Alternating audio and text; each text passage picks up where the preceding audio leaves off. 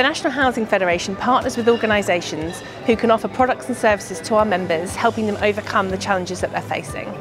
We partner with the NHF because they have a really strong relationship with their members and this allows us to be able to work closely with them and provide their members with the best solutions when it comes to inspections. This sector has a lot of challenges at the minute, obviously with the um, climate crisis and the cost of living crisis um, and we particularly feel as an organisation that we can meet a lot of those needs. We support your members um, in a few different ways, so we support through providing software, we provide hardware, but mainly we act as consultants and a trusted sort of advisor, um, especially for things like cyber security. Um, so we've worked with the NHF for uh, quite a long time in supporting the members um, and understanding their risk and helping them improve their uh, security.